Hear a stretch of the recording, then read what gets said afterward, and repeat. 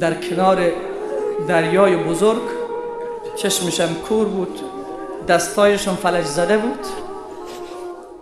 می‌گفت اللهم لك الحمد و لك الشکر. وقتی داستان آدم میشته و قلب آدم تبخیر می‌کنه. چشمش کور بود دستش فلج زده بود. در کنار دریا می‌گفت اللهم لك الحمد.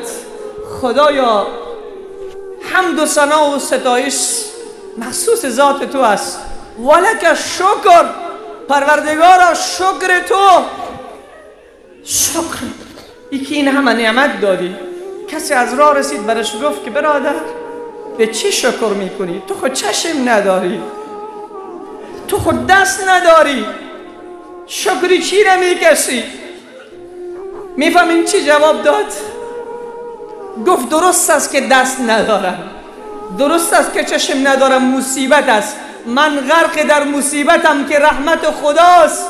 شکرم از این است که خدا مرا غرق در معصیت نکرده است.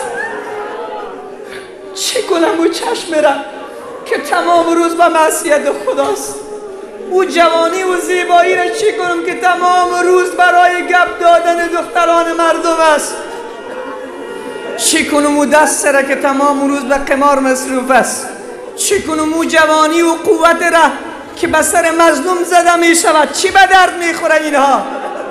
ای چشم و نحشره یوم القیامت اعما. روز قیامت. بعض انسان ها چشمای کور از قبر بیرون می شود چشم کور چشمشان در دنیا جور بود خوب می دیدن خوب می دیدن ولی روز قیامت دیگه چشمشان کور است. قال ربی لما حشرتنی اعما وقد كنت بصيرا.